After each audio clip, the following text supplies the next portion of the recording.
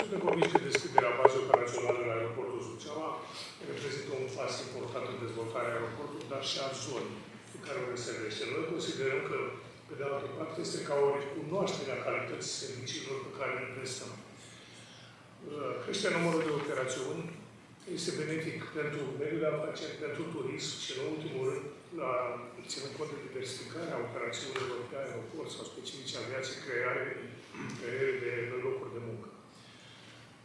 Uh, mulțumim lui Zia pentru plasarea bazei pentru încredere și sperăm să fie un parteneriat de lungă durată și benefic pentru ambele părți.